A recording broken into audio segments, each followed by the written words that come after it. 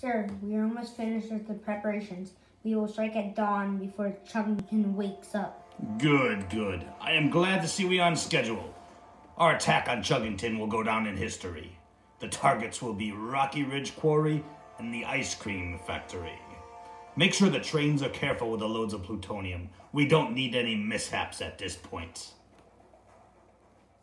Sir, who are we attacking and why? Thomas, we are going to eliminate all of Chuggington. I am the dictator of Sodor, and I have a responsibility.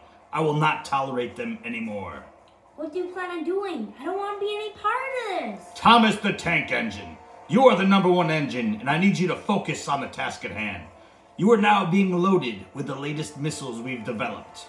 You will be delivering the missiles to the launch point at Knapford Station. Fizzling fireboxes, missiles?